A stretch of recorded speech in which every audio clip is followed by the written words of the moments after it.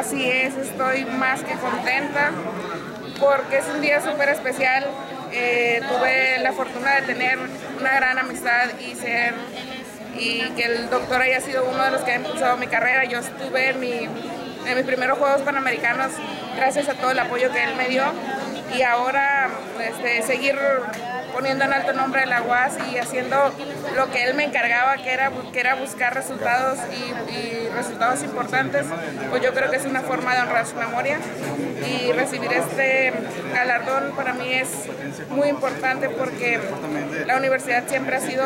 mi casa, siempre ha sido parte de mi formación y,